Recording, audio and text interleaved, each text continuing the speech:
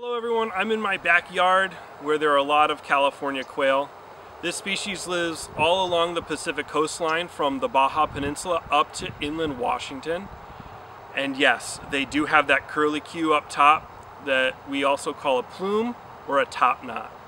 This species also has a specific color pattern.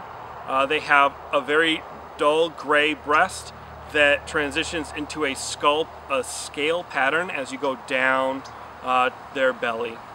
They also have a call that sounds a lot like Chicago. Now it's a three-tone call, so it sounds like Chicago, Chicago. Yeah, that's what I just said.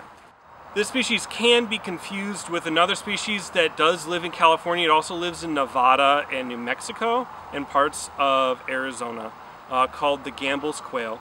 Has a similar, similar color pattern, although its gray goes all the way down from its breast down to its belly, and it some of them have a black spot right towards the belly but where we would have our belly button.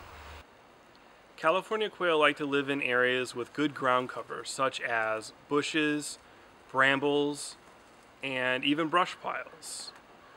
These areas can include chaparral, and even open oak forests, which makes the foothills of Sequoia and Kings Canyon National Parks great habitat. They'll use the twisted and gnarled vegetation to nest with their 10 to 16 chicks or to hide from predators. When relaxed, they spend their time foraging for food that could be hiding underneath leaves that's on the forest floor or maybe up in bushes or in treetops.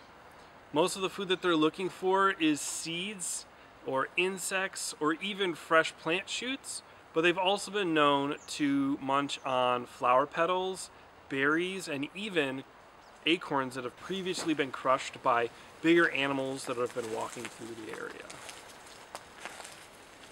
If a threat enters the area, they will flush in a bunch of different directions to confuse the predator the predator has a hard time deciding which one to go after and generally doesn't get one at all.